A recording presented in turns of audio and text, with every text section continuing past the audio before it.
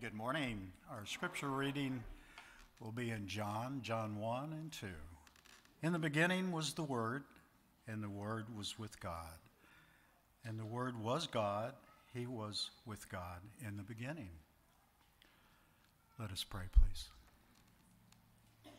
Dear Heavenly Father, we're so thankful, very, very thankful to be here today. We're thankful for our visitors, and we're thankful for all that are reaching out to you. Help us, Father, to look to you for all the many blessings and open our eyes to see thy word and have ears to be listening to your wonderful voice. Father, today we have so much to be thankful for.